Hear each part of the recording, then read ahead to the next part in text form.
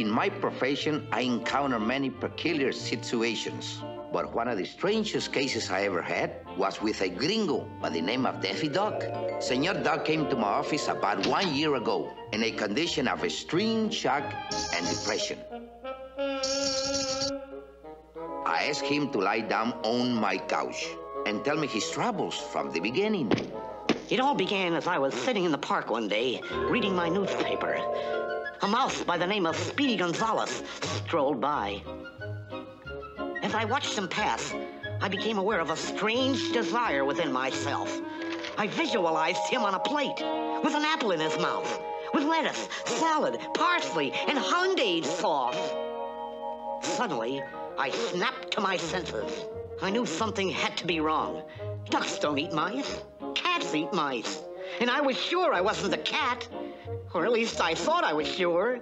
Discounting the experience, I went back to reading my paper. The mouse walked by again. This time I avoided looking at him. I tried to ignore his presence, but I couldn't. I saw another vision. Mouse under glass. I couldn't imagine what was wrong with me. Was I cracking up? Why did I have these strange desires?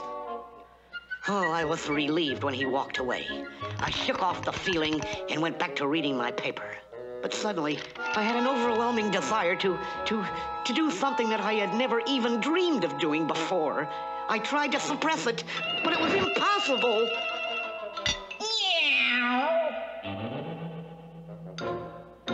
Things were getting progressively worse as time passed. I found myself sneaking up on the mouse. As you might suspect, I had problems explaining my actions at times. I was afraid to go out in public, lest my strange desires overcome me. I stayed inside my house all the time, all alone, except for one mouse. Speedy Gonzales had moved in. He asked me to join him for lunch. I considered taking him up on it.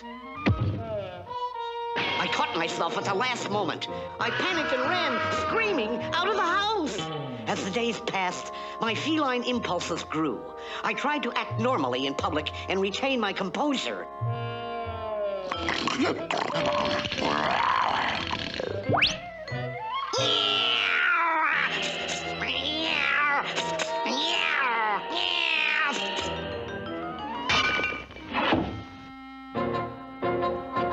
In order to take my mind off my problems, I took up singing.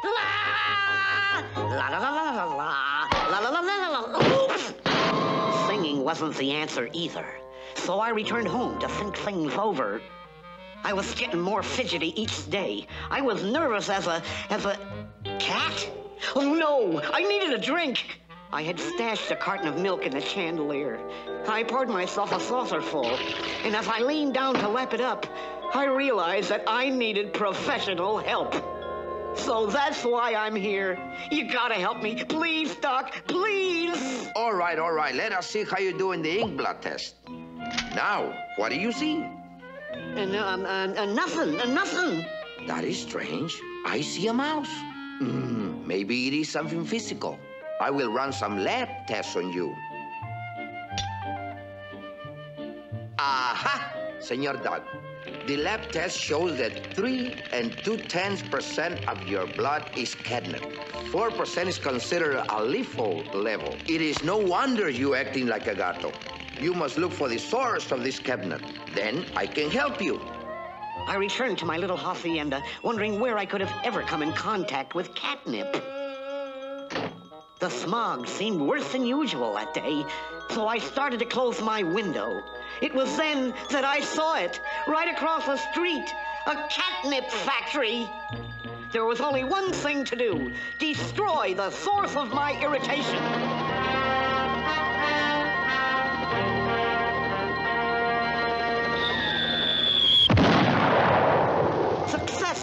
there would never be another ounce of catnip in all of Mexico.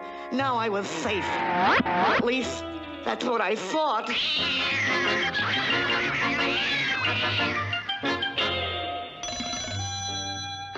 Hello? Oh, señor Dog, ¿cómo está?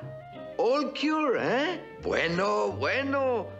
My bill? Oh, that will be only 2,500 pesos. Hello? Hello? Hello? I lose more patients that way. Well, that's showbiz. Next patient, please. Señor S. Gonzales. And now, Señor Gonzales, just what is your problem? Oh, I should have listened to mi padre. He wanted me to be a bandido.